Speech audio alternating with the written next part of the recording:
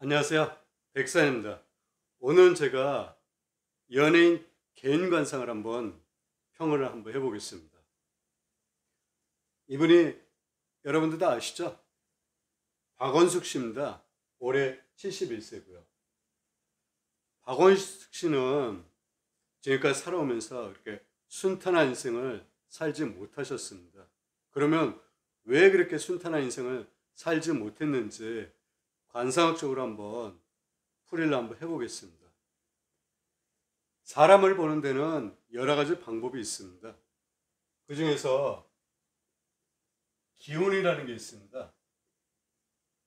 어떤 사물이나 생명체나 사람이나 각각이 가지고 있는 기운이 있습니다.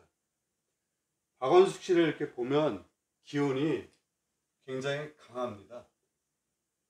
한마디로 세다는 거죠. 얼굴 표정에서 이렇게 나타납니다.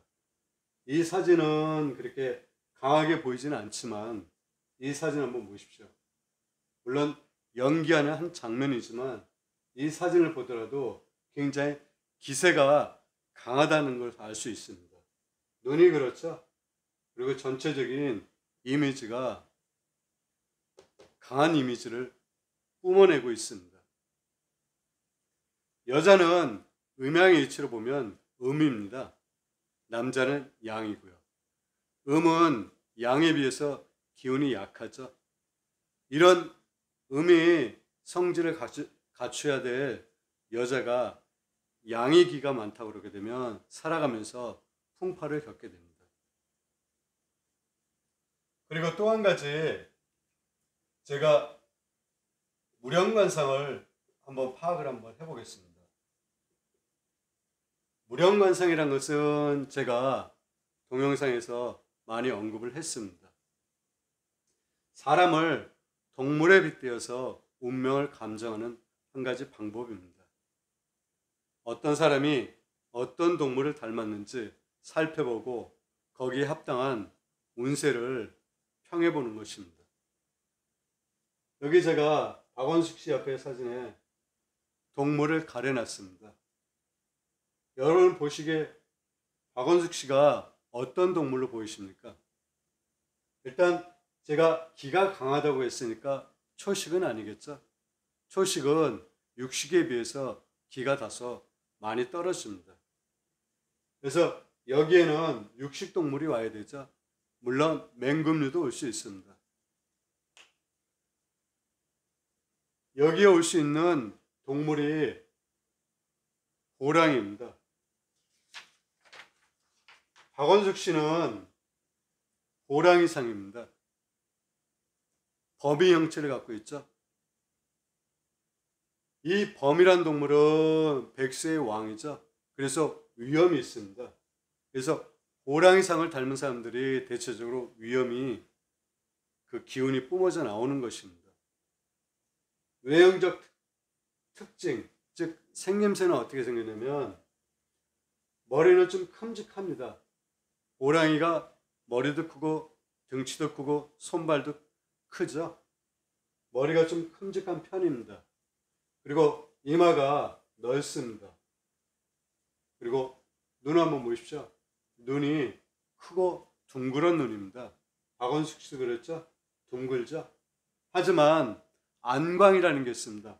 호랑이는 눈의 광채가 안광이 사람을 쏘아보는 듯한 그런 눈을 가지고 있습니다. 밤에 보면 눈에서 불빛이 번쩍번쩍 하죠.